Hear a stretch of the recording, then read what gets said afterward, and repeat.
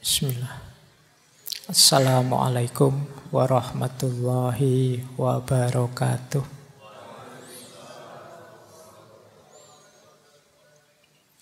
Bismillahirrahmanirrahim. Alhamdulillahi rabbil alamin. Assalatu wassalamu ala ashrafil anbiya'i wal mursalin. Sayyidina wa maulana Muhammadin wa ala alihi wa ashabihi wa man tabi'ahum bi ihsanin ila yaumiddin. Amma ba'du. Bismillah teman-teman. Mari kita lanjut belajar lagi melalui ngaji filsafat kita yang kita istiqomahkan setiap malam Kamis. Alhamdulillah malam hari ini kita akan membahas satu tema mungkin tatarannya agak tinggi. Jadi yang hadir memang harus terseleksi. Alhamdulillah dibantu kita menyeleksinya lewat hujan ya. Baik, ini memang tema malam hari ini itu agak kontroversial. Ada yang pro, ada yang kontra. Ada yang setuju, ada yang tidak setuju. Tapi itu wajar di dunia ilmiah, di dunia akademik. Jadi monggo saja nanti teman-teman setelah kita sedikit belajar tentang tema ini terus setuju atau tidak setuju silahkan saja. Tapi sebagai orang yang belajar tentu saja apa pun itu ya sebagai ilmu patut dan layak kita pelajari. Termasuk tema Nur Muhammad ini. Semoga juga teman-teman tuntas ya belajarnya. Tuntas dalam arti yang saya sampaikan malam hari ini itu nanti banyak isyarat-isyarat, cuplian-cuplian dari berbagai sumber. Silahkan teman-teman yang ingin mendalami, ya dalamilah referensi-referensi yang saya sebutkan. Jangan merasa setelah selesai ngaji ini terus mengklaim, wah sekarang aku ahli tentang Nur Muhammad. Itu belum apa-apa ngaji kita malam hari ini hanya mancing saja. Silahkan dilanjutkan sesuai porsi dan makomnya masing-masing. Dan saran saya jangan setengah-setengah. Kadang-kadang ilmu itu yang setengah-setengah membahayakan. Saya tiba-tiba ingat ada cerita wayang itu ya. Ketika Raden Abimanyu putranya Arjuna tewas. Di antara sebab dia mengalami bencana tewas itu karena belajarnya setengah-setengah. Jadi saat itu dia ini punya kemampuan bisa menembus satu strategi perang yang jarang orang bisa menembus strategi perang ini namanya cakra yuha. Itu dia bisa masuk dalam uh, jebakan strategi perang itu cuma ilmunya setengah. Karena ini strategi ini luar biasa. Tidak sembarangan orang bisa masuk. Kalau yang sudah bisa masuk menembus dia tidak sembarangan orang bisa keluar. Nah, cuma Raden Abimanyu ini ilmunya cuma setengah. Dia tahu caranya masuk, tapi tidak tahu caranya keluar. Pada akhirnya dia tewas. Kenapa? Karena saat itu dia belajar dari ayahnya. Raden Arjuna, cara belajarnya unik. Jadi dia diajari oleh ayahnya sejak dalam perut ibunya. Jadi Raden Arjuna mendiktekan cara mengatasi strategi itu saat dia dalam perut. Sayangnya waktu didikte oleh Raden Arjuna, tengah-tengah mendikte, ibunya ngantuk. Jadi pas bagian menyerang, menerobos, dia bisa. Tapi pas bagian keluar dari kepungan, ibunya tertidur. Ya ibunya tertidur ya karena dia dalam perut ibunya ikut tertidur. Akhirnya ilmunya setengah. Nah itu mungkin pesannya ya kalau belajar jangan setengah-setengah. Atau kalau masih setengah ya jangan gaya dulu. Jadi kalau masih belum mateng ya matengkan dulu. Baik, mau ngomong Nur Muhammad malah cerita wayang. Kita mulai ya pelan-pelan belajar tentang materi Nur Muhammad malam hari ini. Ini nanti akan bertaburan istilah-istilah sufistik, mohon dimaklumi. Kalau malam hari ini belum tertangkap ya direnungi mungkin kalau ada rekamannya diulang-ulang.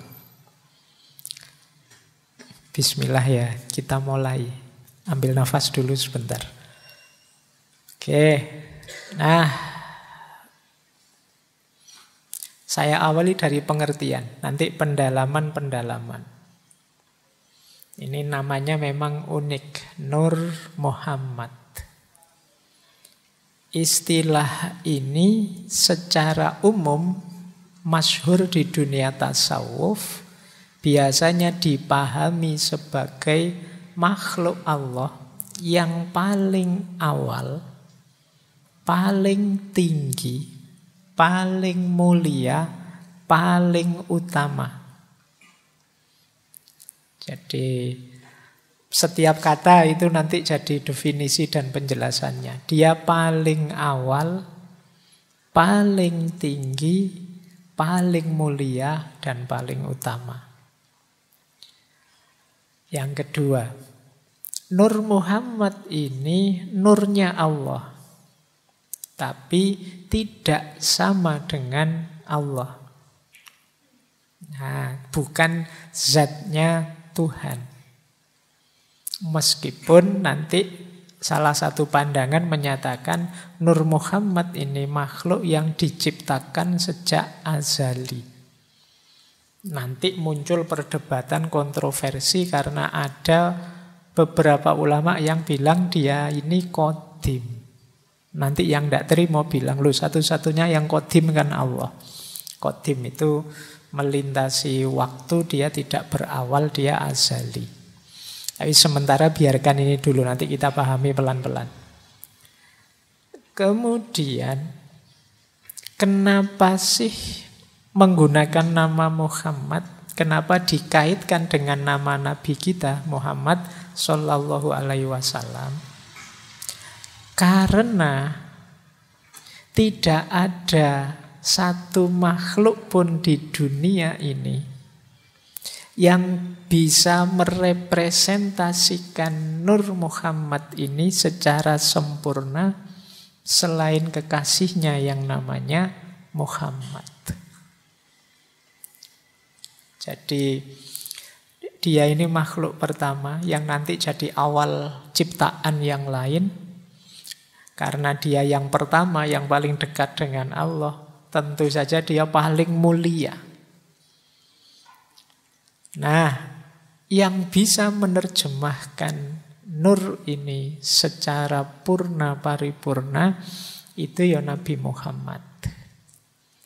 Bahkan ada nanti pandangan bahwa ya memang nur ini pengejawahan tahannya ya nanti dalam Nabi Muhammad. Jadi meskipun dia sudah diciptakan paling awal, tapi nanti manifestasinya terakhir di Nabi terakhir dan paling utuh, paling sempurna. Nabi Muhammad Sallallahu Alaihi Wasallam. Nah, nanti nama lainnya banyak. Kalau ini bisa teman-teman baca di futuhatnya Ibnu Arabi.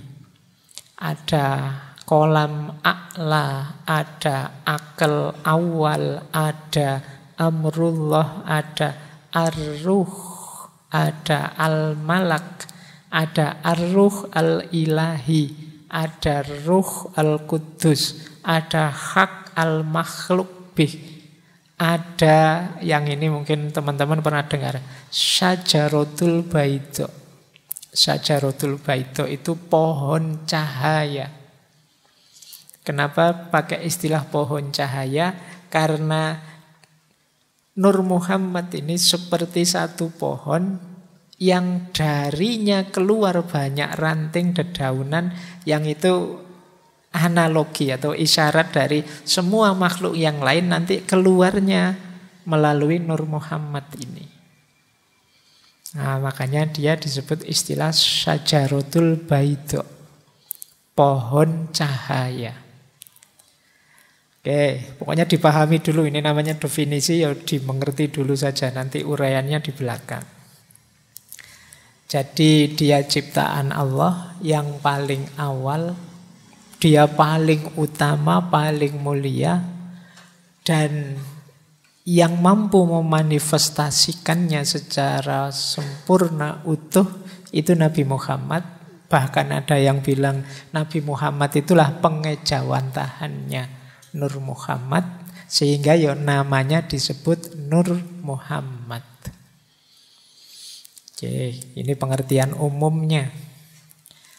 Nah, maka nanti ini ada pandangan Nur Muhammad itu tidak persis identik dengan Nabi Muhammad sebagai sosok seorang manusia.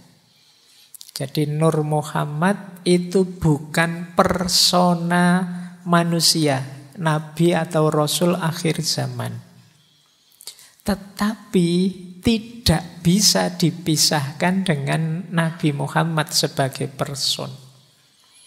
Karena Nabi Muhammad itu representasi Nur Muhammad seutuhnya. Jadi intinya nanti ini sebenarnya. Meskipun nanti ada ulama yang agak berlebihan, ada juga ulama yang sama sekali anti.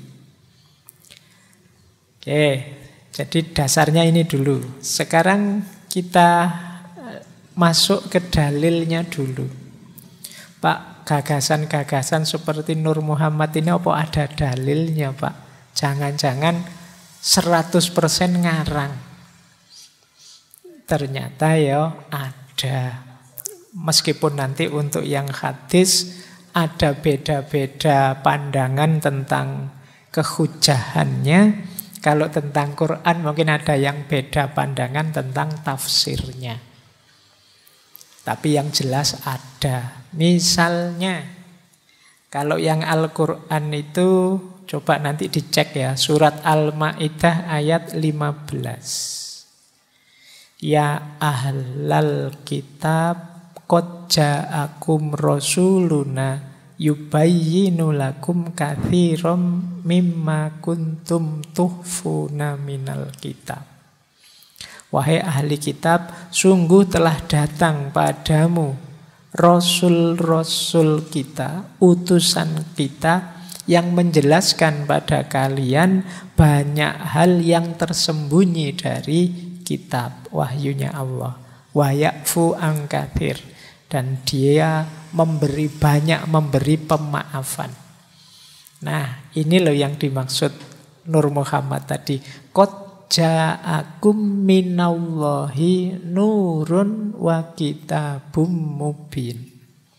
Sungguh telah datang pada kalian nur. Yang nur ini ya tafsirnya Nabi Muhammad wa kitabum mubin dan kitab yang maha menjelaskan. Jadi di ayat ini ditegaskan datang dua hal untuk nuntun kita. Yang pertama nur maksudnya Nabi Muhammad dan yang kedua kitab. Nah, ini dipakai sebagai dalil ya, itu dalilnya bahwa Muhammad itu disebut sebagai nur, sebagai cahaya. Loh kalau Nabi Muhammad disebut sebagai nur kan memang istilahnya ya nur Muhammad. Yang kedua ini ada hadis. Rawahunya Bukhari. Yang bunyinya kuntu nabiyan wa adam bainar ruhi wal jasad. Aku sudah jadi nabi sementara Adam itu masih ada di antara roh dan jasad. Berarti kan sebelumnya Nabi Adam. Dan ini ada di Bukhari. Silahkan nanti dicek, dianalisis. Yang ketiga ada hadis. Ini diriwayatkan oleh Jabir. Cuma saya mengambilnya dari kitabnya Syekh Nawawi Al-Bantani. Materi Su'ud ila iktisail burud. Yang artinya begini, saya langsung baca artinya ya kalau saya ngomong Arab terus kamu roaming nanti. Jadi ini hadis dari Jabir. Satu ketika Rasulullah ditanya tentang awal sesuatu, apa sih Rasulullah yang pertama diciptakan oleh Allah?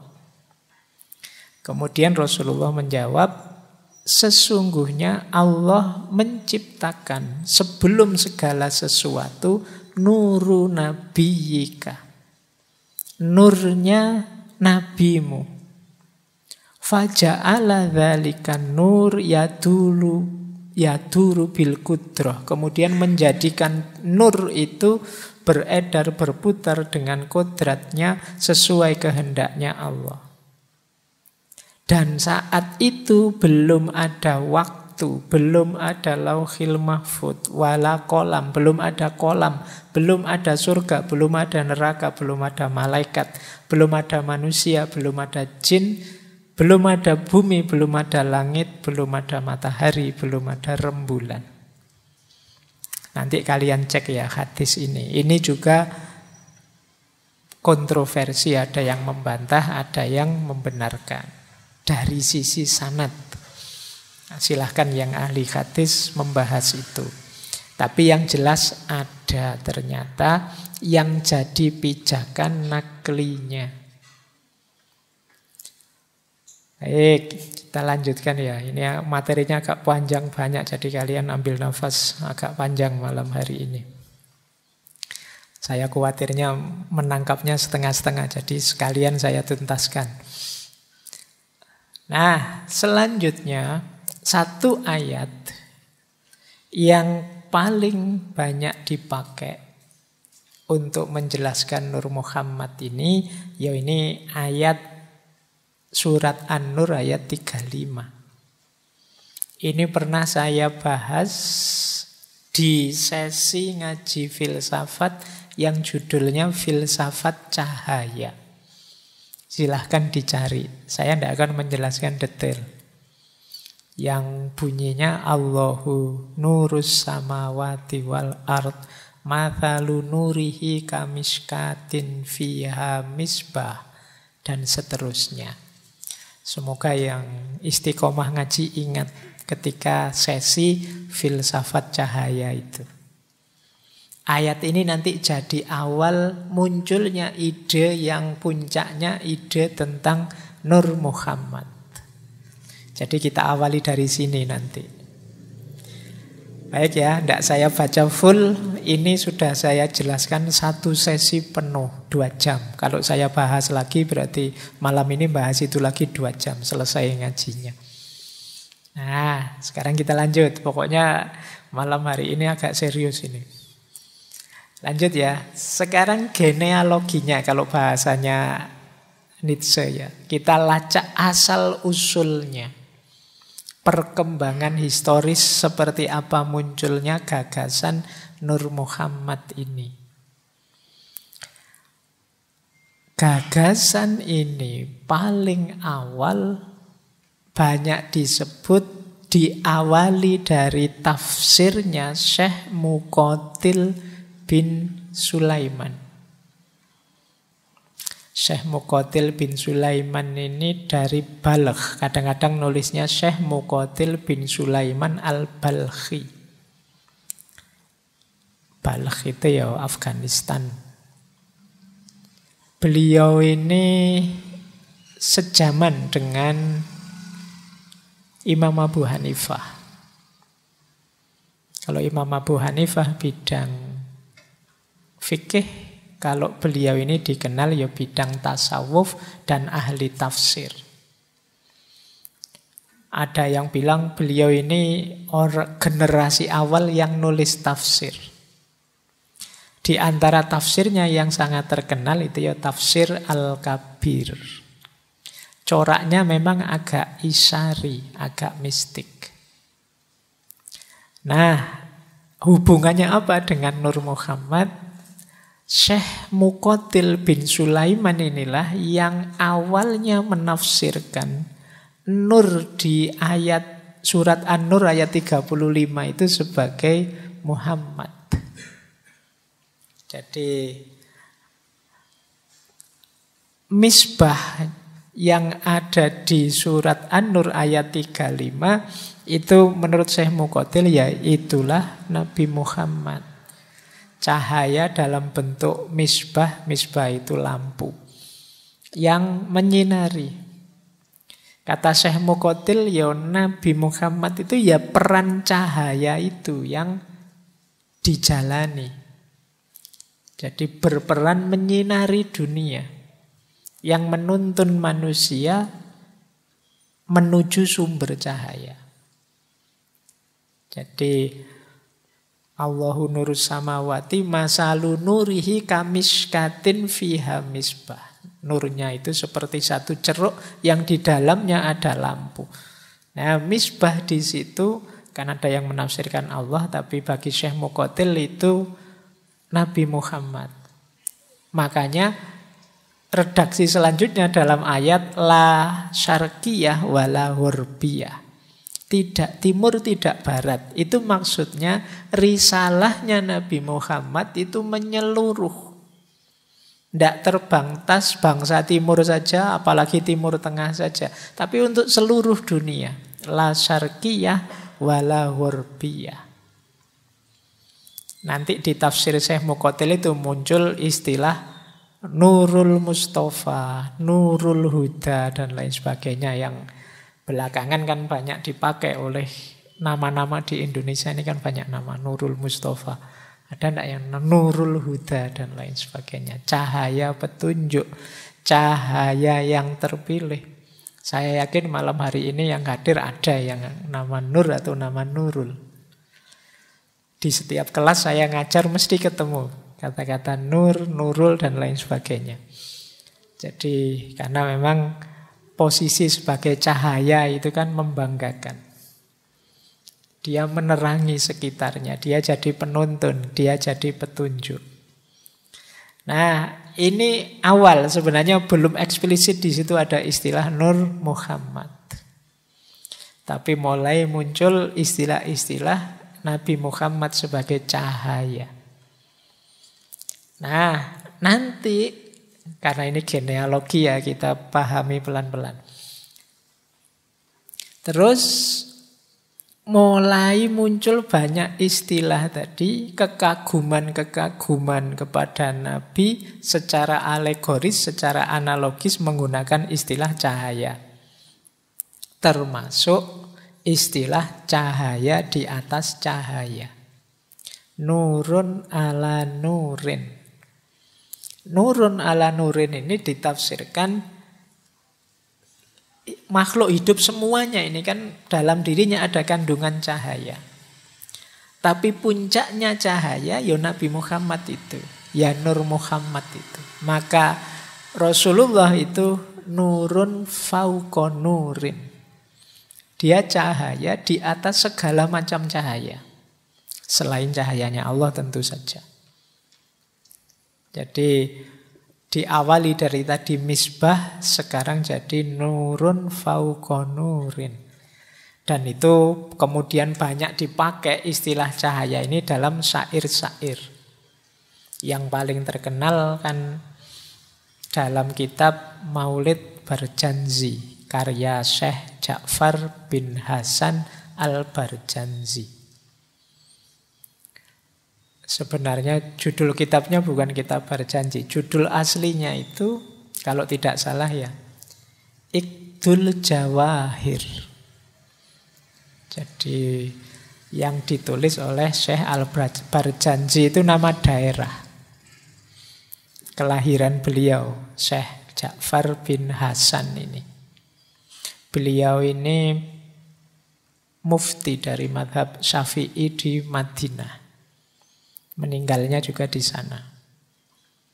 Jadi beliau nulis Maulid Barjanji ini yang judul aslinya Ikdul Jawahir atau ada yang bilang Ikdul Jauhar. Isinya sebenarnya Siroh Nabawiyah tapi sangat puitis. Dan di antaranya menyebut itu nurun fauqa nurin anta syamsun anta badrun dan anta nurun fauqa nurin Nanti ada beberapa bagian dari kitab berjanji itu yang disarahi oleh banyak ulama yang mengindikasikan adanya Nur Muhammad. Baik, sekarang mulai kelihatan ya asal usulnya. Dari Syekh Mukotil, kemudian muncul istilah-istilah status kecayahayaan Rasulullah dan pengagungan terhadap beliau menggunakan istilah cahaya. Terus ya, cuma istilah definitif kata-kata Nur Muhammad itu baru muncul pada ada Syekh Sahel Al-Tustari. Jadi ini ya beliau sufi dari Persia, kelihara, kelahirannya Tustar, daerah Iran. Beliaulah orang pertama yang menggunakan istilah dan merumuskan konsep Nur Muhammad. Jangan salah, kalau teman-teman baca sejarahnya Syekh Sahal ini, beliau ini sudah jadi sufi sejak balita. Umur tiga tahun sudah belajar tasawuf pada pamannya. Kalian umur tiga tahun masih umbelen. masih ngiler, masih tidak karu-karuan. Syekh Sahal ini sudah belajar tasawuf pada pamannya. Dan nanti banyak cerita-cerita karomah-karomah beliau. Kalau kalian kan kalau cerita senengannya karomah-karomah. Ada banyak. Ada yang bilang beliau ini kuat tidak makan sampai 70 hari. Tidak usah ditanya kenapa begitu. Itu namanya karomah. Ya kalau masuk akal saja ya namanya bukan karomah di antara keistimewaan yang diberikan oleh Allah. Ada terkenal sekali suatu ketika beliau berdoa, "Ya Allah, anugerahilah aku kemampuan melihat rasa lapar sebagai rasa kenyang, demikian juga sebaliknya. Karena baik rasa lapar maupun rasa kenyang itu semuanya darimu." Nah, itu menarik ya kalau pakai teori pikiran kemarin apa-apa ya dari pikiran sebenarnya. Kan banyak cerita-cerita orang itu bisa tidak makan apa-apa karena terjebak di mana. Saya pernah baca zaman penjajahan Jepang itu ada orang yang karena terkurung di apa jadi romusa, tidak ada makanan sampai yang dimakan itu pasir dan batu bata. Sehingga sampai merdeka pun dia masih punya kemampuan makan batu bata itu. Lu ternyata bisa. Tidak terbayangkan ya, mungkin kalau ke belakang keluarnya semen, keluarnya makanannya batu bata. Tapi bisa. Eh, Syekh Sahel Al-Tustari juga begitu, dikenal kuat menahan lapar. Ada cerita satu ketika orang pingin nguji, apa benar orang ini memang tidak makan, ibadah terus. Ternyata pernah pula, eh ternyata makan. Tapi bukan makan sembarang makan. Jadi ada riwayat satu ketika orang yang sekian lama meneliti itu melihat di satu malam saat beliau ibadah malam, Syekh Sahal ini tiba-tiba muncul dari pintunya masjid itu datang seekor kambing. Entah dari mana yang oleh Syekh Sahal terus diajak ngobrol bicara dengan bahasa Persi. Di riwayatnya memang diajak ngobrol dengan bahasa Persi, mungkin kambing Persi. Kalau kambing Jawa mungkin diajak ngomong bahasa Jawa. Nah, setelah itu Sesahel ngambil gelas, kemudian dari kambing itu beliau mendapat susu dan diminum. Jadi oh ternyata ada karomah yang lain. Jadi dia tidak nyari, beliau tidak nyari makan, tapi makanannya datang. Ini kan prinsipnya para sufi, orang-orang yang sudah ada di makom tajrid, itu dia sudah tidak mikir dunia lagi karena dia pasrahkan sepenuhnya urusan dunianya pada Allah. Jadi dia tidak tidak ngurusi lagi besok aku makan apa, kerja apa, dapat apa. Itu sudah di luar pikirannya. Dia hanya fokus menomorsatukan Allah saja. Urusan duniaku biar diurusi Allah. Ini namanya orang yang sudah nyampe makom tajrid. Nah, cuma jangan ditiru. Makommu belum ada di sini. Kalau kita kan, ini kalau pakai istilahnya Syekh Ibnu Atta'illah, makom kita itu masih makom asbab. Masih sebab akibat. Kalau pengen kenyang ya makan. Kalau pengen dapat makanan ya punya uang. Kalau pengen punya uang ya kerja. Ini sebab akibat. Kita masih ada di situ. Jangan gaya di makom tajrid. Jadi kalau orang di makom asbab kok terus ambisius pengen naik ke makom tajrid, kata saya Ibnu Atta'illah itu namanya hawa nafsu. Tapi kalau sudah nyampe makom tajrid, yo ya jangan mau repot seperti orang di makom asbab itu namanya degradasi. Jadi setiap orang sesuai makomnya. Lupa kan enak nanti yang di makom tajrid nanti dia berarti levelnya lebih tinggi dari kita ndak. Di makomnya masing-masing silahkan mendekat pada Allah sesuai jalannya. Kalau kita yang di makom asbab, ya kita mendekat pada Allah sesuai kondisi kita, makom kita. Karena ridhonya Allah itu jatuh pada siapa sepenuhnya hak prerogatifnya Allah. Jadi kalian tidak perlu minder. Pak saya itu apa pak? Saya itu levelnya tidak. Ya lakukan kebaikan semaksimal mungkin di makommu, di levelmu. Tidak usah nunggu, Pak saya besok aja Pak rajin ibadah kalau sudah makom saya naik setengah-setengah wali lah. Ya, ya tidak nyampe. Makommu masih ada di situ ya jalankan saja yang kamu mampu di levelmu. Nah, Sufi awal yang dikenal mengkonsep Nur Muhammad ini beliau Syekh Sahel Al-Tustari ini. Beliau juga nulis tafsir. Di tafsir beliau lah nanti muncul gagasan tentang Nur Muhammad ini. Jadi menurut Syekh Sahel Al-Tustari, ini konsep-konsep yang saya jelaskan di awal tadi banyak ngambil antara lain dari konsep awal Syekh Sahel Al-Tustari ini. Jadi yang pertama apa? Allah sebelum menciptakan alam semesta yang diciptakan duluan adalah Nur Muhammad. Jadi ini ciptaan Allah yang paling awal. Mungkin ada yang protes, kok begitu sih Pak, kok tidak nyambung sih Pak? Kata Syekh Nawawi Al-Bantani, lo itu hak prerogatifnya Allah, mau menciptakan yang awal itu apa? Nah Allah menciptakan yang paling awal itu Nur Muhammad. Nah dalam Nur Muhammad ini, ya dia memang disebut Nur. Anggap saja wujudnya cahaya, meskipun jangan mendefinisikan cahaya seperti lampu listrik sekian watt ini. Jadi bentuknya cahaya dan memang sifatnya kodim. Kodim dalam tanda petik ya, nanti dijelaskan di belakang oleh Ibnu Arabi. Awas campur dengan Allah. Meskipun nanti kalau di Al-Halaj dianggap sama levelnya.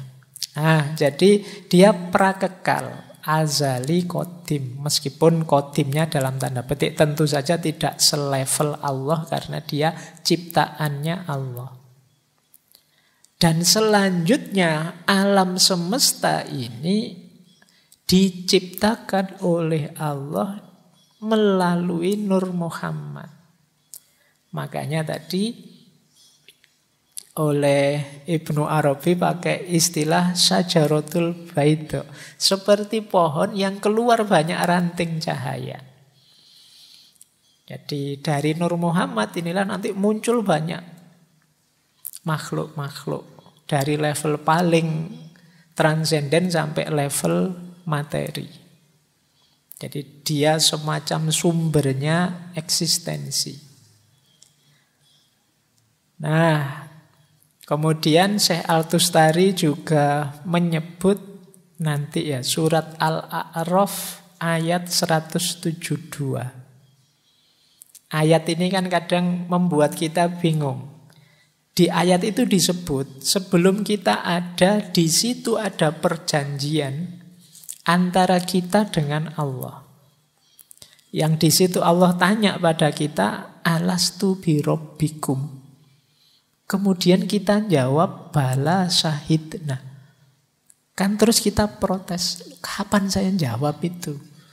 Saya tidak merasa ada loh. Kok katanya dulu ada terus jawab.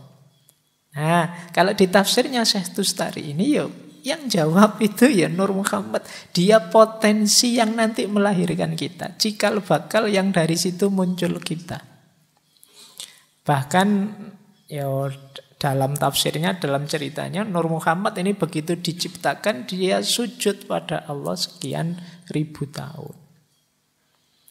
Jadi makanya saat itu ada perjanjian, oke makhluk akan lahir semua tapi sebelum dimunculkan diajak berjanji. Jadi apa semacam disuruh syahadat dulu.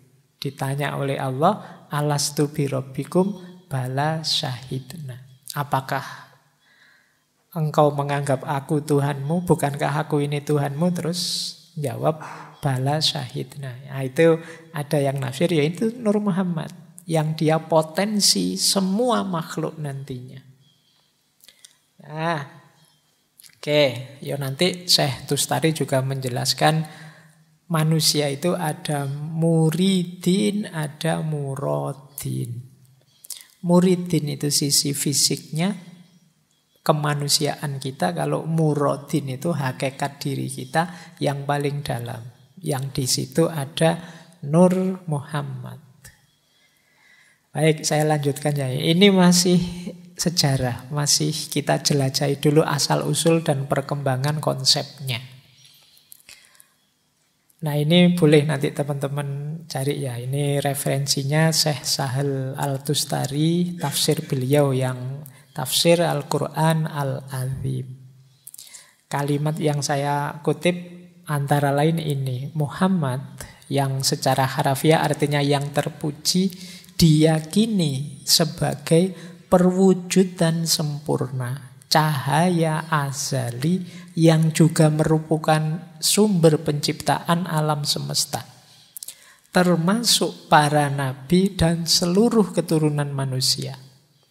Ia adalah manifestasi pengagungan sempurna atas zat Allah karena telah menyembah langsung di hadiratnya selama satu juta tahun ketika masih berbentuk cahaya. Oh, berarti saya tadi keliru bilang ribuan. Satu juta tahun. Meskipun sebenarnya maknanya satu juta tahun itu bisa kita maknai sangat lama. Ketika bala syahidna tadi.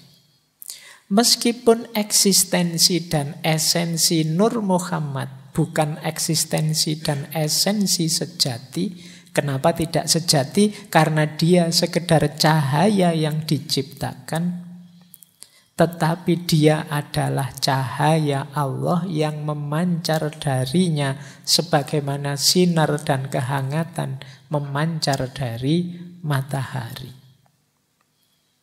Jadi kalau diibaratkan cahaya matahari, Allah itu mataharinya, Cahaya itu Nur Muhammad. Cahayanya adalah Nur Muhammad. Jadi ini pakai ibaratnya Syekh Sahel Al-Tustari. Makanya yo ya beda.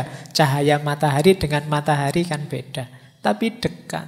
Sangat dekat. Bahkan nyambung. Nanti seluruh cahaya, seluruh terang di muka bumi ini yang muncul dari situ. Oke, ini tokoh kedua yang disambungkan dengan Nur Muhammad. Tokoh ketiga, muridnya Syekh Sahal antara lain Abu Mansur Al-Hallaj. Ini pernah kita bahas satu sesi khusus. Tokoh yang mungkin sangat teringat di pikiran teman-teman. Karena kontroversinya. Nah, pandangan Altustari ini sangat berpengaruh nanti terhadap Hussein bin Mansur Al-Hallaj ini. Jadi Kata Al-Halaj, ya Nur Muhammad itu makhluk pertama. Dialah Muhammad spiritual karena nanti ada Muhammad material, ya Nabi Muhammad itu. Dia adalah sumbernya semua makrifat.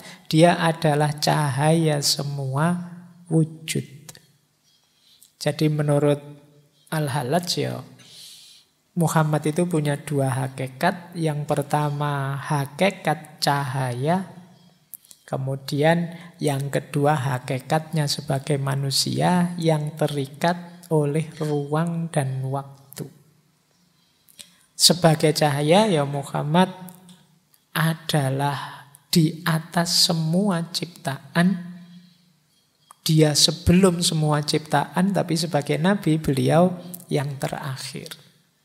Jadi ini di antara penjelasannya Al-Hallaj. Nah, yang menarik dari Al-Halaj nanti yang berhubungan dengan gagasan kontroversial tentang takhallul. Jadi Nur Muhammad ini yang cahaya Tuhan ini hakikatnya adalah tajallinya Allah. Tajalli Allah itu ketika Allah menampakkan kehadirannya ketika Allah memanifestasikan keberadaannya melalui ciptaannya. Berarti Nur Muhammad tadi yaitu tajalinya Allah yang paling utuh, paling sempurna. Jadi berarti apa? Orang yang mendapat Nur Muhammad ini, dia akan punya karakter ketuhanan. Karena karakternya Nur Muhammad ini yang paling mirip dalam tanda petik ya dengan Allah, dengan Tuhan. Karena dia tajalinya Allah yang paling utama, yang paling dekat, yang paling pertama. Dan itu dikutip boleh teman-teman baca kitab Tawasin bab pertama itu ada kalimat begini cahaya-cahaya kenabian terpancar dari cahayanya. Dan cahaya mereka berasal dari cahayanya. Tidak ada cahaya di antara cahaya-cahaya lain yang lebih cemerlang dan lebih terang serta azali selain cahaya pemilik kemuliaan ini. Ini pembukaannya bab 1 kitab Tawasin. Mungkin kalian tidak paham maksudnya, kalian baca saja bolak-balik nanti paham sendiri. Kalau masih belum paham berarti memang makomnya belum nyampe. Itu kalimatnya berentetan cahaya.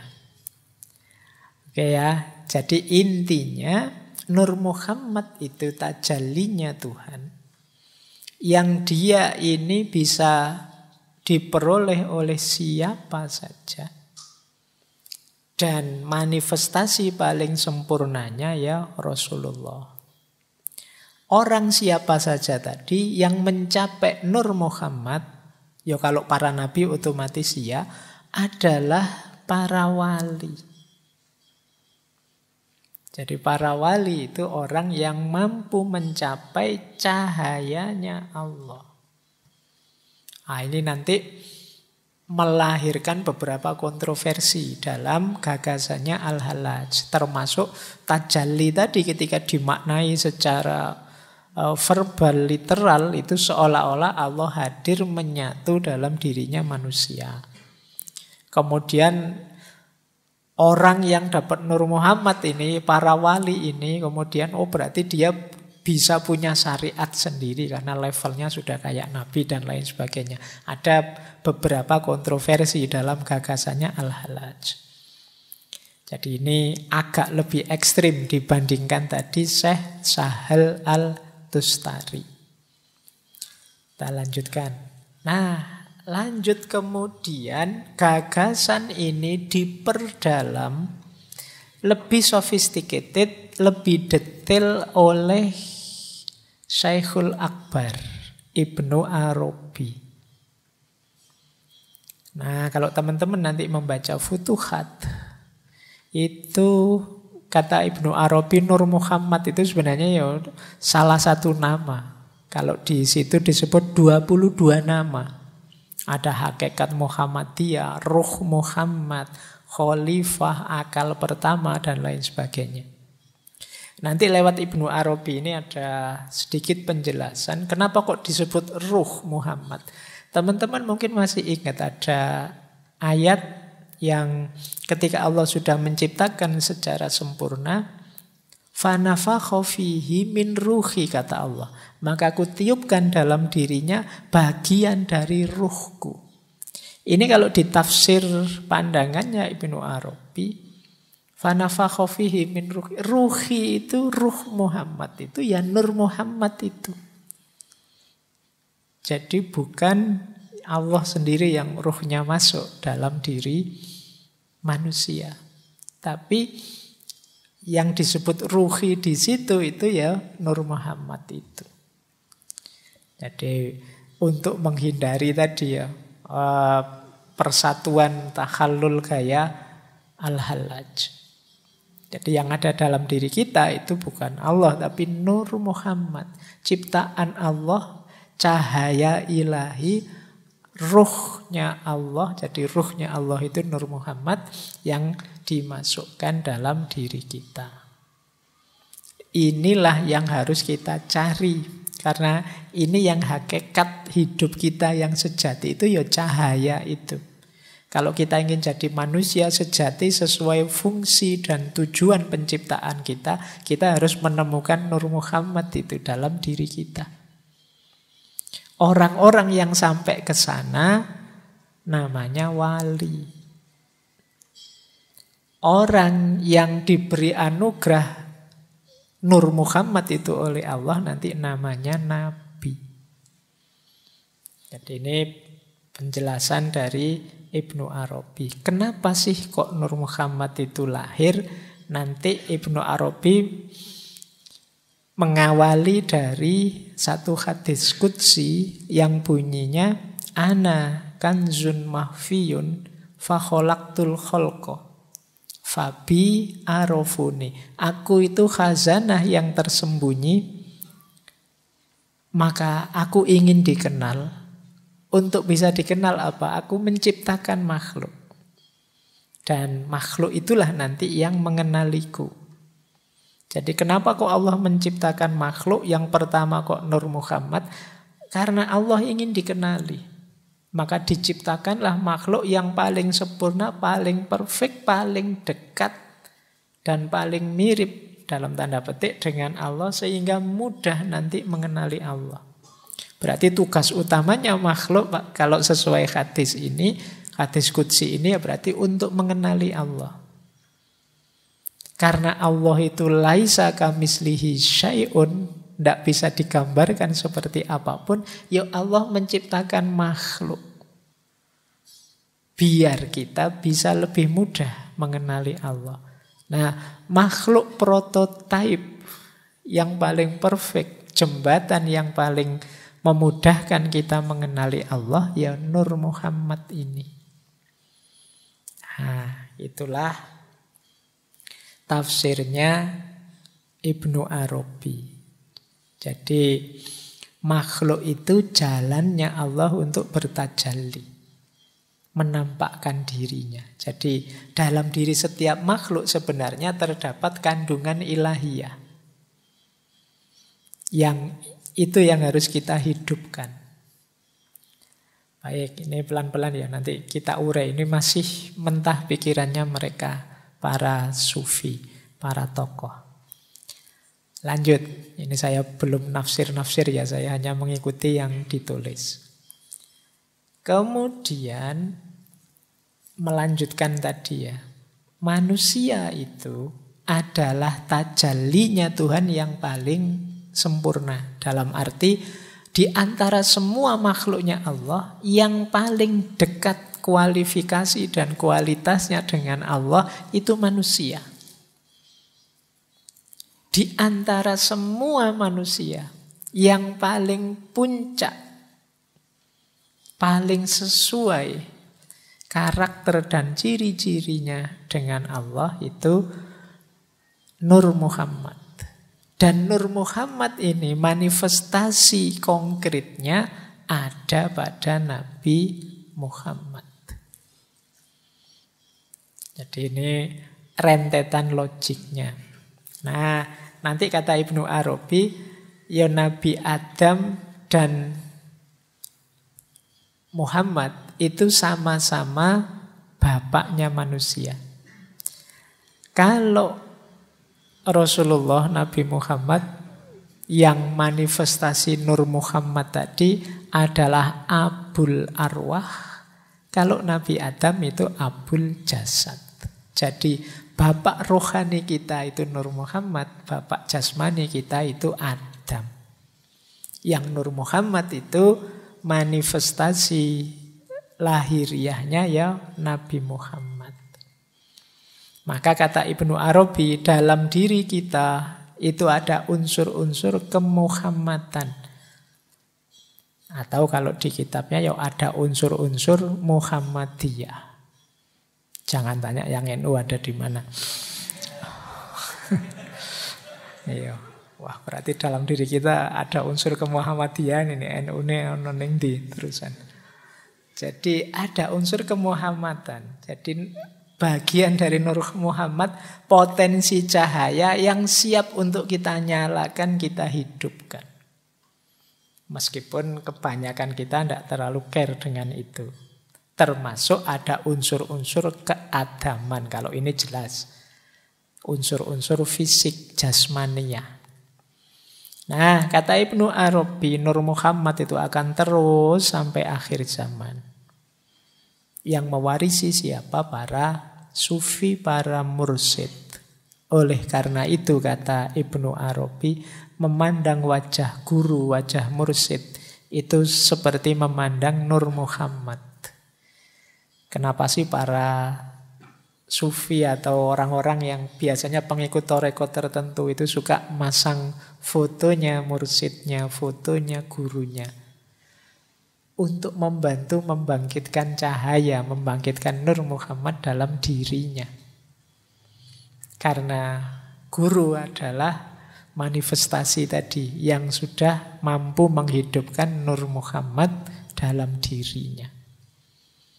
Semoga dengan melihat wajah gurunya itu bisa membangkitkan Nur Muhammad tadi yang membuat tambah dekat pada Allah.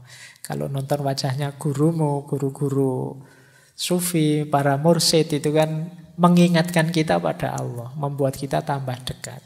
Kan beda kalau lihat gambarnya artis, lihat gambarnya grup band kesukaanmu, pemain sepak bola kesenanganmu. Itu kan kamu terbawa ke mana kan pastinya nggak ke Allah. Yang bisa membawamu ke Allah itu kalau lihat gambar-gambar gurumu, antara lain mursyidmu.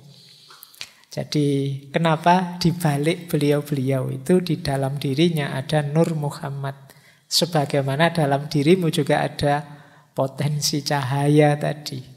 Jadi biar frekuensimu nyambung dengan frekuensi mereka. Berarti kamu sebagaimana beliau tambah dekat pada Allah. Ini Ibnu Arabi. Kita lanjutkan. Sekarang ke murid beliau. Syekh Abdurrahman Al-Jili. Beliau ini muridnya Ibnu Arabi, masih keturunannya Syekh Abdul Qadir Al-Jilani. Beliau panjang sekali menafsir tentang Nur Muhammad ini di antara kitab beliau yang terkenal itu tentang insan kamil. Ini kitab yang dua jilid besar. Yang dua jilid itu sekitar 53 atau 54 bab. Saya ingat karena nanti di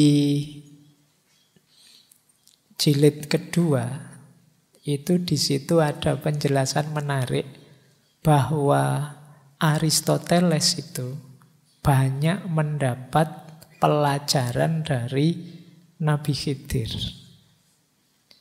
Coba kamu cari penjelasan itu di tulisannya Syekh Abdurrahman Al-Jili ini.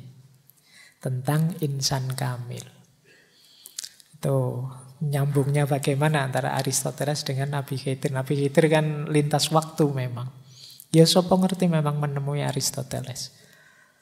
Dan Aristoteles bisa belajar dari beliau itu berarti punya kapasitas spiritual tertentu.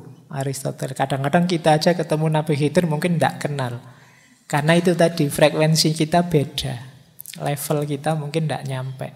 Tapi kalau bisa sampai belajar ya luar biasa. Jangan-jangan buku-bukunya Aristoteles itu tentang politik, tentang retorika, tentang itu. Jangan-jangan ilmu Nabi Khidir. Oke, yo percaya ndak percaya monggo saja. Tapi ini yang ngomong sekelas beliau, Syekh Abdurrahman Al-Jili. Baik, ada beberapa yang mungkin perlu kita garis bawahi dari Syekh Al-Jili ini. Beliau melanjutkan gurunya tentang tadi ya kuntu kanzan mahfiyan fa ahbabtu an u'rofa fa khalaqtul khalqa fa bi arafuni. Aku adalah khazanah tersembunyi, kemudian aku ingin dikenal, lalu kuciptakan makhluk. Dan dengan makhluk itu mereka mengenali aku. Nah, kata-kata kholko tadi, kata Syekh Abdurrahman Al-Jili, tegasnya fakholaktul kholko itu berarti fakholaktu Nur Muhammad. Maka aku ciptakan Nur Muhammad yang jadi sebabnya alam semesta. Kemudian nur tadi masuk dalam diri para nabi, para rasul, para aulia, orang-orang soleh yang menjadi cerminnya Allah. Yang menggambarkan dirinya, namanya, sifatnya, dan afalnya.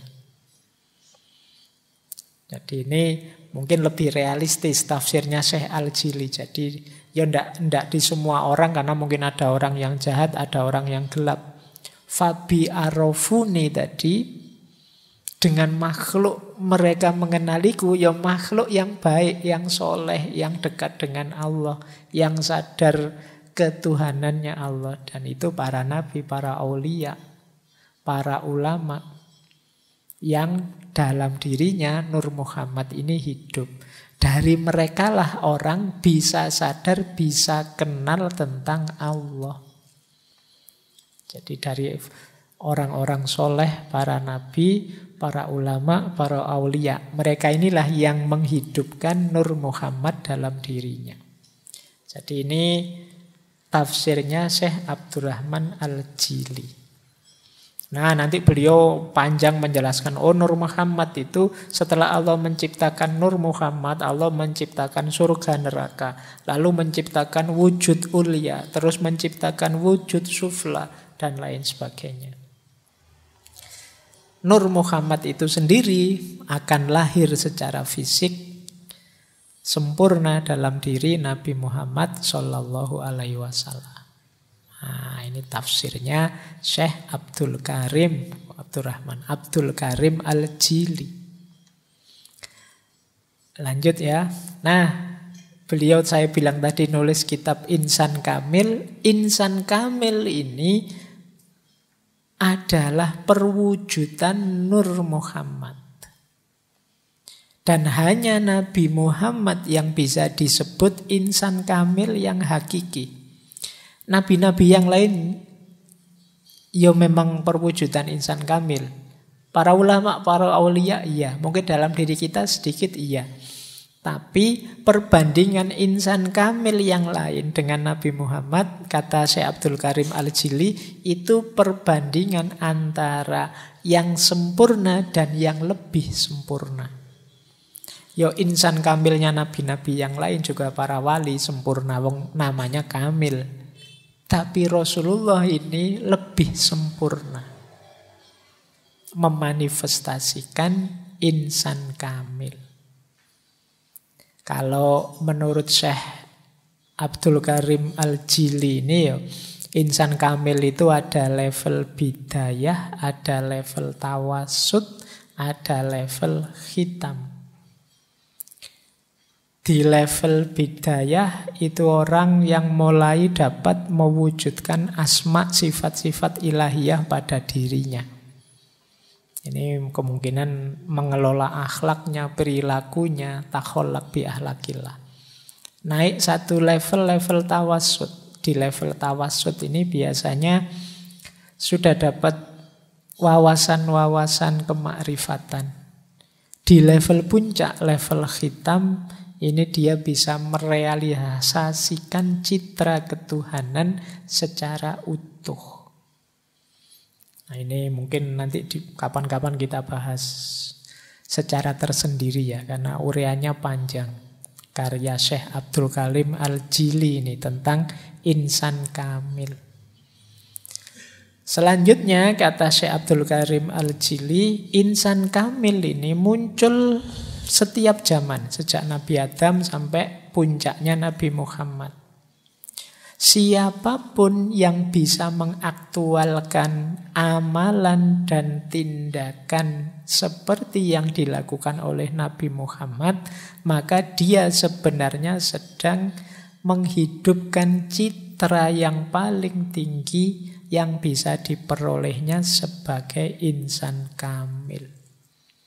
Jadi kalau kita bingung, Pak, gimana caranya saya menghidupkan Nur Muhammad? Dalam diriku, ayo kita ikuti cara hidupnya Nabi Muhammad. Karena beliaulah yang memanifestasikan Nur Muhammad secara paripurna. Ah, itu makanya kemarin di awal-awal sesi kan kita langsung masuk ke akhlak dan adabnya Rasulullah. Loh, penting kita hidupkan itu dalam rangka yaitu caranya untuk menyalakan menghidupkan Nur Muhammad dalam diri kita.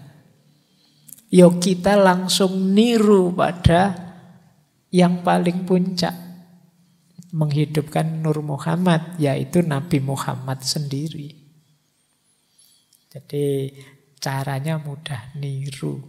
Iya, ya mungkin kalian gerundel, ya mudah Pak kalau diceramahkan, kalau di jalan kan ya tidak segampang itu. Kemarin kalian kan kalau pas kita ngaji akhlak dan adabnya itu kan kalian cuma bisa wow saja kan. Wah, wah kan gitu aja nih yo. Setelah ngaji yo hidup kembali seperti biasanya. Nah, padahal kita ada amanat itu. Katanya tadi kan semoga kita bisa jadi jalan dikenalinya Allah. Karena kita diciptakan itu antara lain Allah menciptakan makhluk itu kan untuk Allah agar dikenali. Jadi paling tidak orang kalau lihat kalian itu ya kesadaran ilahiyahnya muncul. Wah, nonton anak kok sesoleh ini. Jadi ingat Allah aku kalau nonton kamu. Nah itu berarti lumayan kamu bisa membuat orang mengenali Allah dari melihatmu. Kayak kalian kalau lihat para ulama, para wali itu kan jadi sadar Allah. Cuma kan mungkin sekarang ya belum kita masih di level-level kalau orang lihat kita mungkin pingin mukuli, pingin jengkeli masalahnya. Oke, Lanjut ya, ini kita sudah sampai pada Syekh Abdul Karim Al-Jili. Saya berhenti di sini di Abdul Karim Al-Jili untuk sejarahnya. Setelah ini panjang sebenarnya banyak sekali ulama-ulama yang membahas tentang Nur Muhammad ini. Meskipun ada juga yang tidak setuju. Nah, ada yang tidak setuju itu alasannya hadisnya. Tadi kan saya sebut hadis. Ada yang tidak setuju itu alasannya terlalu berlebihan mistik sufinya. Ada yang tidak setuju itu karena di antara tokoh-tokoh yang saya sebut tadi ada yang dianggap si ah kita kan Sunni. Kemudian macam-macam orang tidak setuju itu. Baik, ya tidak apa-apa kan tadi saya bilang setuju tidak setuju monggo saja. Tapi ini sebagai konsep ini bagian yang khas. Kalau dalam tradisi tasawuf namanya tasawuf falsafi. Dalam tradisi filsafat Islam ini salah satu isu yang khas dalam filsafat Islam. Oke, sejarahnya sudah ya. Sekarang kita masuk ke konsep-konsep, teori-teori yang jadi implikasi Nur Muhammad tadi. Implikasi itu berarti kalau kita meyakini Nur Muhammad, terus apa yang terjadi? Ada pandangan-pandangan apa sebagai implikasinya? Yang pertama jelas. Kalau kita menerima Nur Muhammad berarti ciptaan pertama itu Nur Muhammad yang itu mungkin polanya berbeda dengan yang kita pahami selama ini. Tentang ciptaan itu kan dalam Islam ada tiga teori penciptaan itu. Ada teori kun, penciptaan dari tiada. Kun fayakun. Ini kan paling sering kita pakai. Allah itu ya ingin apa-apa tinggal kun fayakun. Ada model fight. Fight itu emanasi. Jadi emanasi itu pelimpahan. Faid itu dalam bahasa Persia itu kadang nulisnya faiz. Jadi saya pernah ke Iran itu ada tulisan besar sekali faiz itu. Aku GR, aku terkenal di sini. Ternyata itu faid, jadi pelimpahan, emanasi emanasi itu logika sederhananya makhluk itu tercipta dengan cara melimpah. Mungkin sulit kalian membayangkan melimpah itu ya. Melimpah itu karena gini loh. Sesuatu ter kalau kun fayakun kan kayak sulapan. Afrakadabra ada, terus kun fayakun. Apa saja terus yang diinginkan Allah hadir ada. Kalau melimpah itu karena ini para filosof biasanya tidak mungkin ada sesuatu tercipta tanpa ada bahan dulu sebelumnya.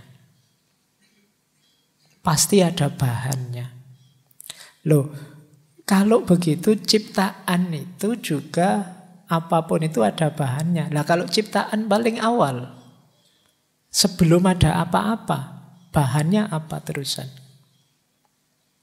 Karena tidak ada apa pun, ya tentu saja yang ada hanya Allah saja.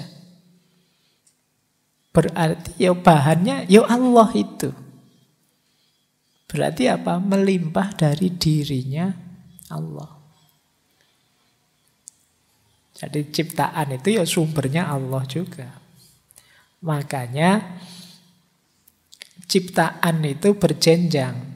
Kenapa? Ya kalau sumbernya Allah kan tidak mungkin termasuk yang jelek-jelek juga sumbernya Allah. Yang levelnya bawah seperti materi kan tidak mungkin. Nah, berarti apa? Ya nanti berjenjang. Limpahan pertama, limpahan kedua, limpahan ketiga, dan lain dan seterusnya. Termasuk pandangan Nur Muhammad ini berarti kalau pakai emanasi ya limpahan pertamanya Allah itu Nur Muhammad. Dia paling sempurna kenapa? Dia paling dekat dengan Allah.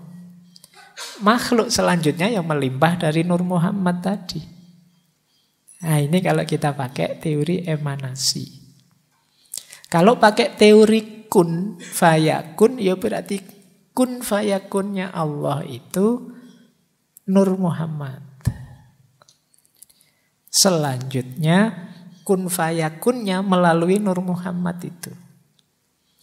Segala potensi kehidupan, segala potensi makhluk ada dalam diri Nur Muhammad. Itu pun hasil kun fayakunnya Allah. Ada yang ketiga namanya tajalli. Kalau ini terkenal di para sufi. Jadi tajalli itu adanya makhluk karena asmanya Allah. Allah ingin memanifestasikan dirinya. Nah ini Gaya ketiga, banyak kalau teman-teman baca tasawuf itu kan ya manifestasi tajalinya Allah. Makhluk apa pun itu dalam dirinya ada unsur ilahiyahnya. Ini gaya sufistik. Jadi dalam Islam ada tiga perspektif ini tentang penciptaan makhluk, penciptaan alam semesta. Ada gaya kun, ada gaya fate, ada gaya tajalli. Ini di berbagai ngaji filsafat. Kalau kalian jeli beberapa kumpulan pandangan ini ada. Jadi berarti apa? Ya ada sedikit pergeseran ketika orang menerima Nur Muhammad tadi. Kalau selama ini orang kun itu rasanya kayak Allah itu sibuk sekali. Kun ini, kun itu. Terus kan kun, kan kun terus. Wong alam semesta ini banyak. Tapi begitu ada Nur Muhammad, tidak. Kunnya Allah yang pertama, ya Nur Muhammad itu. Nanti segalanya muncul dari sana. Ada lagi versi faith. Kalau faith itu ya limpahan Allah yang pertama, ya karakter Nur Muhammad tadi. Dan terus alam semesta melimpah selanjutnya dari situ. Kalau tajalli, ya tajallinya Allah yang paling utuh, paling sempurna, mendekati sifat-sifat dan asmanya Allah ya Nur Muhammad. Yang dari tajalli dalam Nur Muhammad inilah muncul makhluk-makhluk yang lain. Baik, ini implikasi pertama, pandangan tentang penciptaan. Implikasi kedua,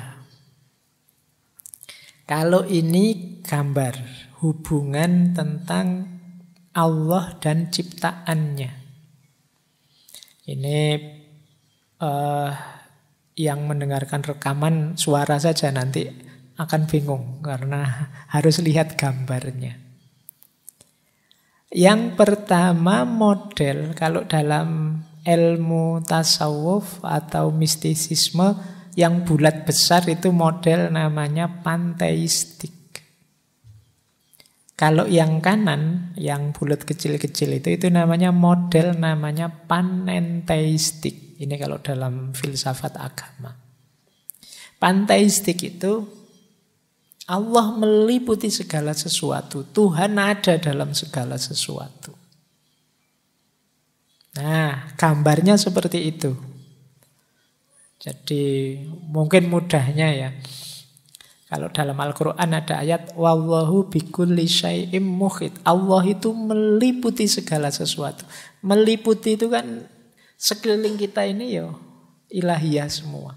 Meliputi kayak misalnya ada Satu barang di tangan saya Terus saya genggam. Itu kan barang ini diliputi oleh tangan saya jadi alam semesta itu diliputi oleh Allah. Kalau bahasanya Al-Quran ya Allahu bikulli syai'im muhid.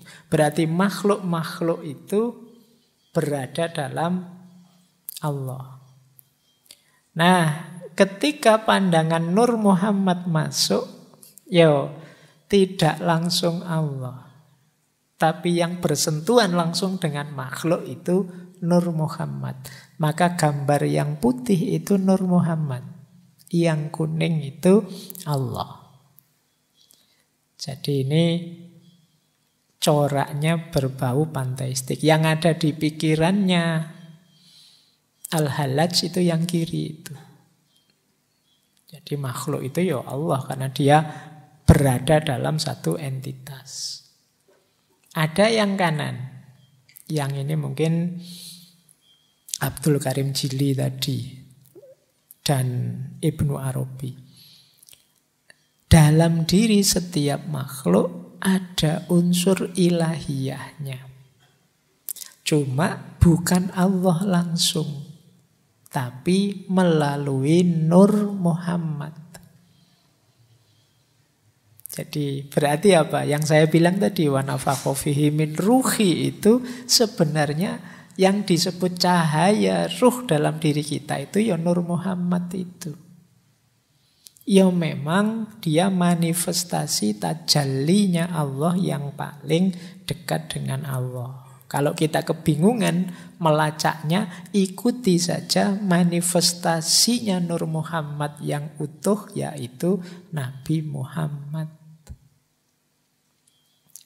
Nah, ini pandangan tentang hubungan antara Allah dan ciptaannya. Yes. Kalau anak-anak kampus kan mudah kalau membaca gambar-gambar kayak gini. Kecuali yang memang tidak mudah.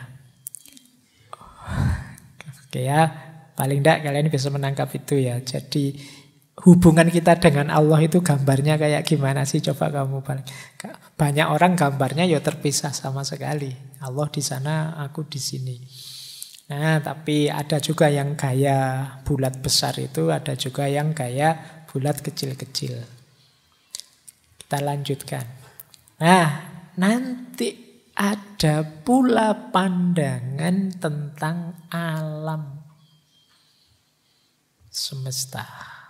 Termasuk ini alam ini dalam tanda petik ya. Ini kalau dalam dunia tasawuf yang disebut alam itu sebenarnya analogis tentang keberadaan atau wujud. Implikasi dari Nur Muhammad tadi ya muncul banyak pandangan dan ini banyak sufi-sufi Nusantara juga memegangi pandangan Nur Muhammad ini sehingga muncul banyak pandangan termasuk tentang alam ada martabat lima, ada martabat tujuh dan lain sebagainya itu implikasi dari Nur Muhammad Nah, dalam dunia tasawuf alam itu ada enam level. Ini saya ambil salah satu teori saja untuk memudahkan kita membaca tentang semesta-semesta, tentang wujud. Ada yang paling eksklusif, namanya alam hahud. Kalau di Inggris kan mungkin hines, tentang kediaan. Ini alam paling tidak mungkin dijangkau, yaitu yang berhubungan dengan zatnya Allah. Inilah yang laisa kamislihi syai'un. Inilah alam yang huyub. Paling misteri, paling tidak mungkin dijangkau. Allahnya sendiri di level zat. Ini yang mungkin maksudnya hadis. Jangan memikirkan tentang zatnya Allah. Larangan ini bukan untuk mengekang kebebasanmu, tapi sebenarnya karena menyayangimu biar kamu tidak buang waktu sia-sia. Tidak akan nyampe. Allah yang di level ahadiyah. Jadi ini level alam hahud, alam kediaan. Nah, ada lagi yang kedua namanya alam Yahud. Alam Yahud ini level wahdah namanya, level keesaan. Di sini muncullah yang tadi kita kenal sebagai Nur Muhammad dari cahayanya. Allah itu nur dan cahayanya itulah namanya Nur Muhammad. Nah ini Allah di level kediaannya dan Nur Muhammad. Jadi kalau di yang pertama hanya Allah saja, di yang kedua sudah ada Nur Muhammad. Ini alam wahdah. Kemudian alam ketiga, alam lahut. Alam lahut ini Ya Allah, Nur Muhammad, dan sifat-sifatnya plus potensi segala macam makhluk dalam Nur Muhammad. Jadi ini alam level 3 namanya alam wahdaniyah. Wahdaniyah satu-satunya. Kalau wahdah itu kesatuan, keesaan. Kalau ahad itu ketunggalan sudah tidak bisa dijangkau. Jadi yang ketiga alam lahut.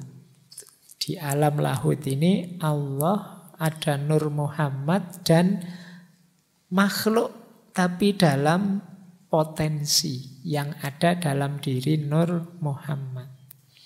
Ini alam level 3. Lanjut. Saya tidak tahu kalian, pokoknya diikuti saja ya. Ngaji malam hari ini sampai mana penangkapanmu. Kapan-kapan sopo ngerti 10-20 tahun lagi kamu jadi wali, kamu dengerin lagi ngaji ini. Terus ya, yang keempat namanya alam Jabarut. Alam Jabarut ini nanti disebut wahidiyah kesatuan. Dari kata-kata jaber, jaber itu kekuasaannya Allah. Nah, kalau tadi makhluk itu potensial, sekarang makhluk itu lahir dalam bentuk jiwa secara umum. Di sini nanti ada lauhil mahfud, ada umul kitab, ada kolam. Ini di alam Jabarut ini. Nah, inilah nanti yang oleh Allah alastu birobbikum terus dijawab bala syahid. Ini dalam bentuk jiwa-jiwa secara umum, masih belum ada materi. Dari alam Jabarut nanti turun ada namanya alam malakut. Alam malakut ini jiwa-jiwa tadi sudah punya bentuk tapi masih imateri. Jadi di sini nanti ada jiwanya binatang, jiwanya tumbuhan, ini jiwanya manusia, ini jiwamu, ini jiwa. Ini adanya di alam malakut. Yang paling akhir alam nasut. Alam nasut itu alam materi. Jadi Di sinilah nanti jiwa-jiwa tadi masuk dalam jasad, dalam wadah yang sudah disiapkan sebelumnya. Oh ini pandangan tentang Nur Muhammad ini yo ternyata ada implikasinya dalam level-level alam. Itu mungkin kita menyebutnya dimensi. Alam yang banyak berlipat-lipat. Ada alam Hahut, Yahud, Lahud, Jabarut, Malakut, dan Nasut. Ini mungkin kalau pakai bahasa hari ini, ini multiverse-nya tasawuf. Jadi hari ini kan rame tentang multiverse itu kan berlipat-lipatnya alam. Ternyata ya di tasawuf sudah lebih duluan punya teori tentang alam yang berlipat-lipat. Jadi hidup ini ternyata tidak sekedar yang kita jalani dan nanti sesudah mati. Ternyata ada banyak level-levelnya. Oke, jadi ini pengaruh terhadap pandangan tentang alam. Lanjut. Kemudian pengaruhnya terhadap pandangan tentang sejarah. Teman-teman mungkin akrab dengan kalimat laulaka Ya Muhammad ma khalaqtul aflak. Hadis kudsi. Atau ada yang bilang laulaka laulaka ma khalaqtul aflak. Kalau bukan karena engkau Muhammad, aku tidak akan menciptakan alam semesta ini.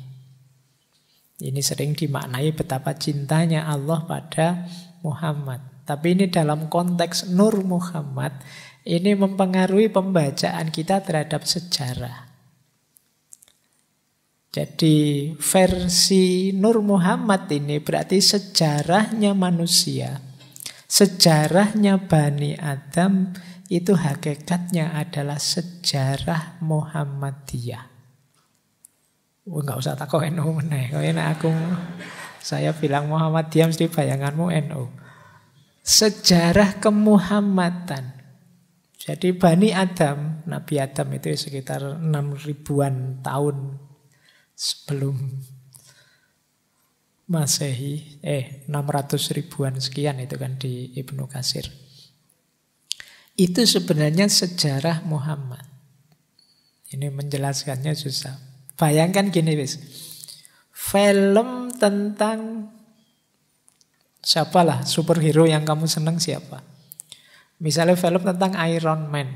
Sutradaranya pengen bikin film Iron Man. Itu kan detail peristiwa, fasilitas, barang, siapa penjahatnya dan lain sebagainya disiapkan dengan fokus pada Iron Man-nya kan.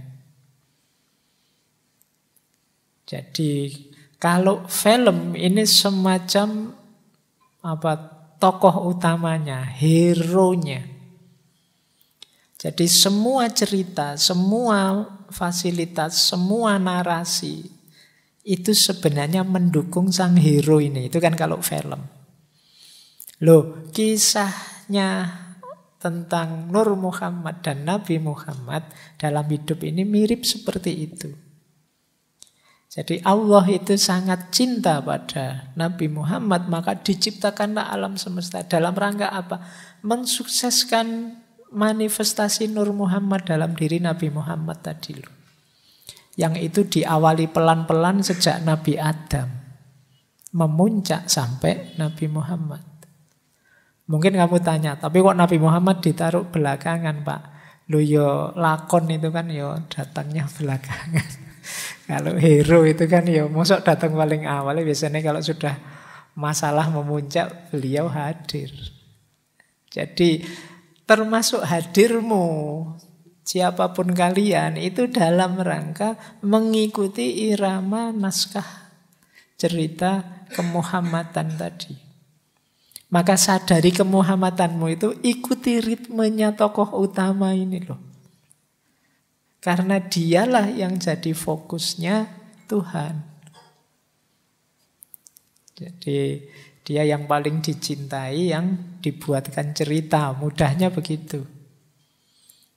Biar kelihatan betapa sempurnanya Nur Muhammad dalam diri Nabi Muhammad, ya segala narasi, segala cerita disesuaikan.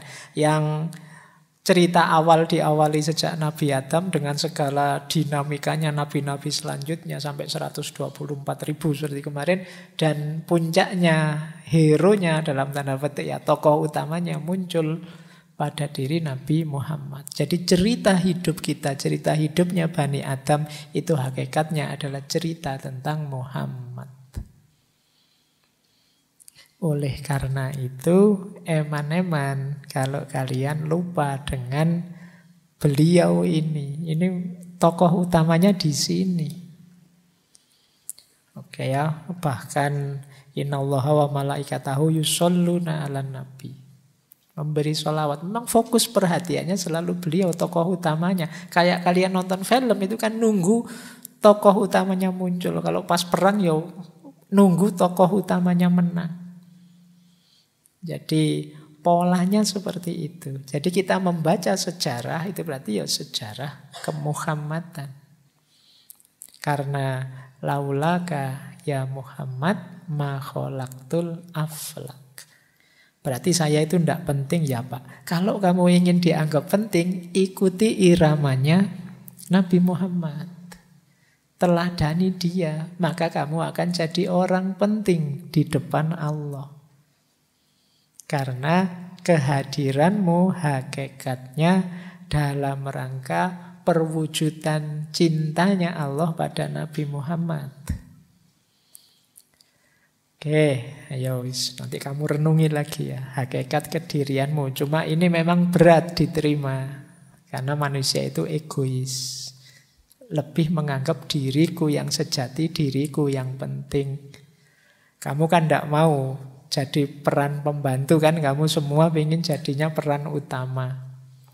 Tapi yo harus diakui Sang Maha Sutradara memposisikan peran utama itu Rasulullah. Nah, kalau kalian ingin dicintai juga oleh sutradaranya, ikuti irama hidup gaya Rasulullah. Baik, jadi ini di antara makna dari Nur Muhammad tadi. Termasuk kalimat yang masyhur ini.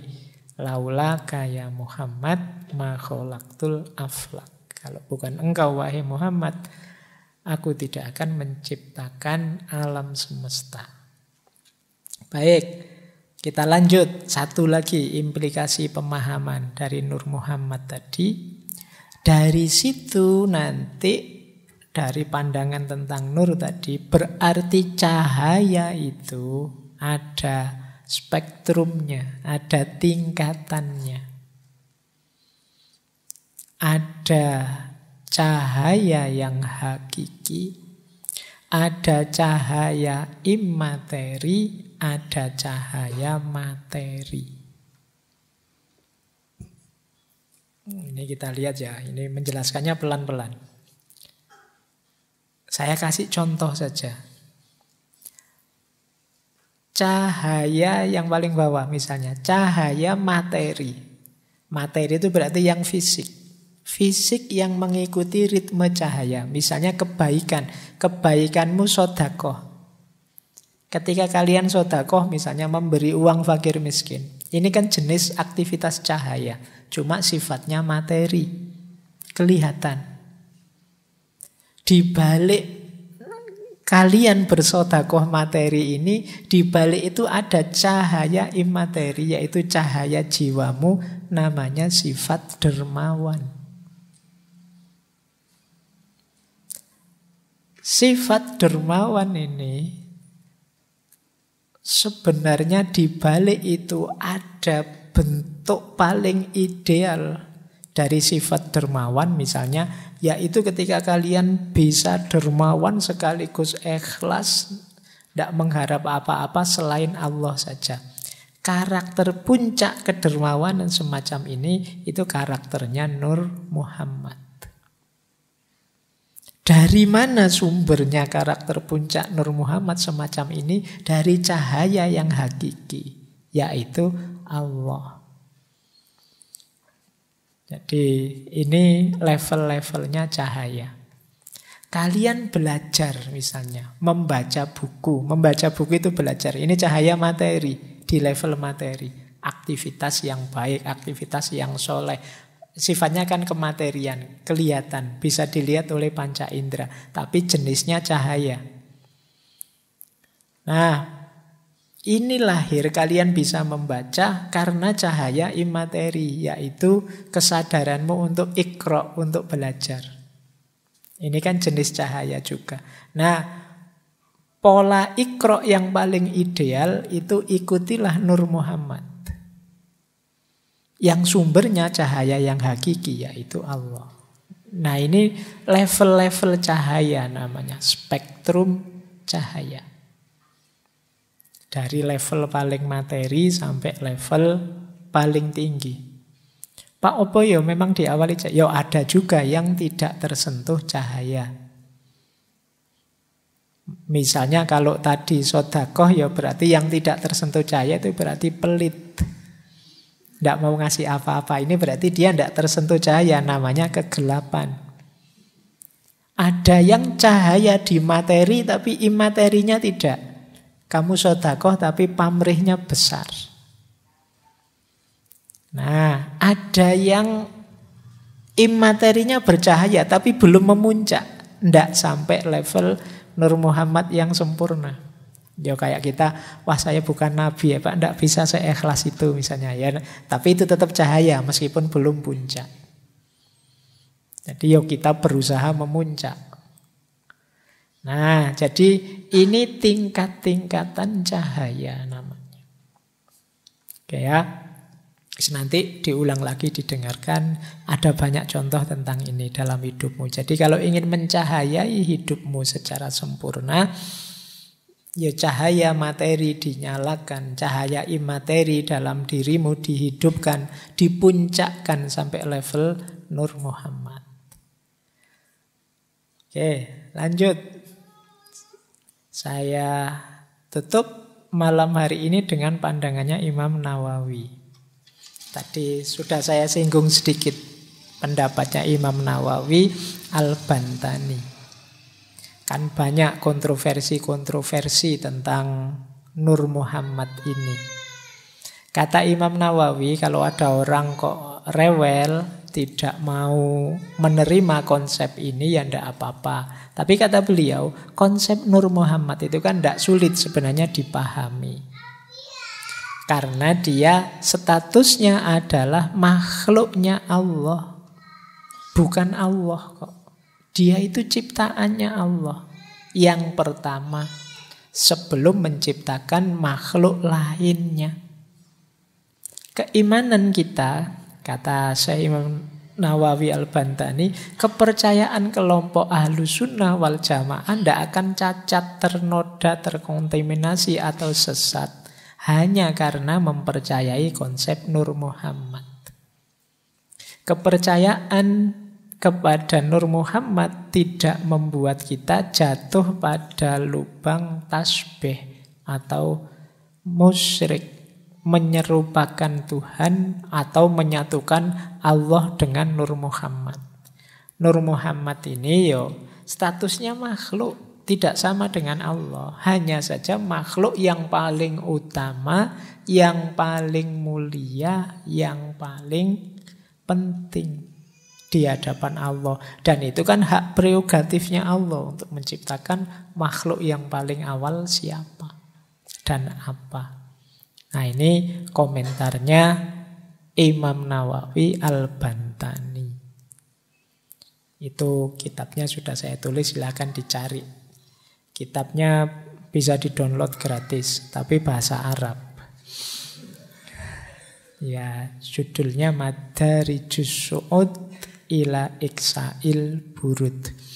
Isinya mensyarah berjanji. Baik, terakhir saya tidak berani panjang-panjang. Ini ulama-ulama yang membahas Nur Muhammad. Jadi banyak kok ulama yang mengulas ini. Mulai Syekh Abdul Qadir Jailani, Syekh Abdullah Arif, Imam Jalaluddin Asyuyuti dan gurunya Jalaluddin Al-Makhalli melalui kitab Jalalain. Imam Kostolani, Imam Zarkoni, tadi Syekh Ja'far Barjanzi, Syekh Yusuf An-Nabhani, ini kakeknya Syekh Takuyuddin An-Nabhani yang HTI. Tapi ini kakeknya, beliau ini sufi. Kemudian Syekh Nawawi Al-Bantani ini Indonesia ya.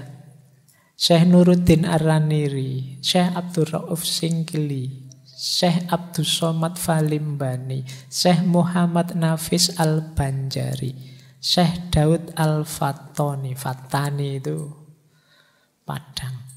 Tuan Guru Haji Ahmad bin Haji Yusuf bin Abdul Karim Kelantan. Alamah Abu Abdullah Asyih Muhammad bin Ahmad Ilisi. Ada yang membaca Ilyusi. Ini beliau yang mensyarah, menghasiah kitab Barjanji. Kemudian Syekh Muhammad Basri Al-Manzalawi, Syekh Usman, Sayyid Usman bin Abdullah bin Yahya, Syekh Muhammad bin Ismail Daudi Al-Fatani. Syekh Zainal Abidin Al-Fatani, Syekh Ahmad bin Muhammad Zain Al-Fatani, Syekh Usman bin Syiabuddin Pontianak Al-Funtiani, Syekh Abdul Hamid bin Ali Kudus. Dan sebenarnya masih banyak. Ini untuk mengingatkan saja banyak ulama-ulama yang membahas dan menerima konsep Nur Muhammad ini. Yo, sebagian besar memang dari tradisi tasawuf. Ini saya sebut ini dalam rangka sopo ngerti ada yang bingung nyari judul tesis. Bisa nyari bahan di situ Nur Muhammad menurut siapa kan biasanya ngono. Silahkan kalau ada yang ingin membahas. Baik, saya kira malam hari ini itu ya. Saya tidak bisa menangkap sejauh mana kalian bisa uh, memahami materi malam hari ini. Tapi paling tidak sedikit-sedikit semoga kita mulai ngerti. Oh itu tuh yang dimaksud Nur Muhammad itu yang banyak didiskusikan dan sering membawa kontroversi-kontroversi. Oke, teman-teman, setuju atau tidak setuju, itu hak masing-masing orang, jangan gegeran. Perbedaan itu sunnatullah. Insya Allah minggu depan sesi tentang kenabian kita tutup dengan cinta Rasul. Tapi bukan lagu ya, bukan nyanyi. Ya kita tetap seperti ini meskipun temanya cinta Rasul. Saya akhiri sekian, kurang lebihnya mohon maaf. Wallahul muwafiq, wallahu a'lamu bisawab. Wassalamualaikum warahmatullahi wabarakatuh.